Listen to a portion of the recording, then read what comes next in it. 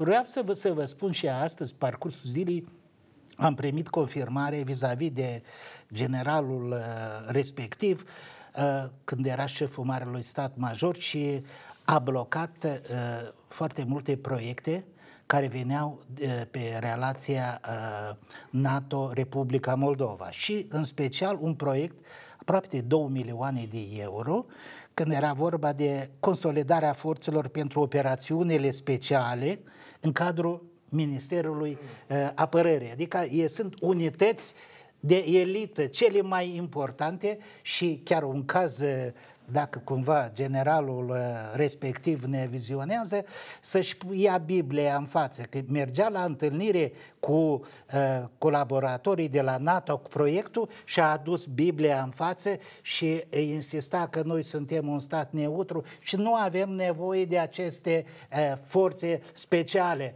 astfel executând clar indicațiile care le primea de la serviciile secrete rusești. Pe ansamblu, evaluarea pe care mi-a, mi transmis-o și uh, sunt uh, încrezător, uh, persoane care cunosc foarte bine uh, situația. Nu secret, domnul Răniț? Uh, nu, nu-i secret.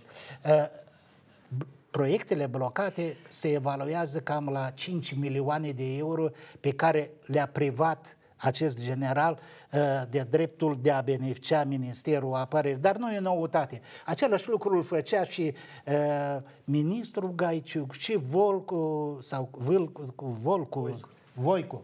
Nu era o noutate, primeau indicațiile foarte clare de a bloca orice relație cu Alianța Nord-Atlantică.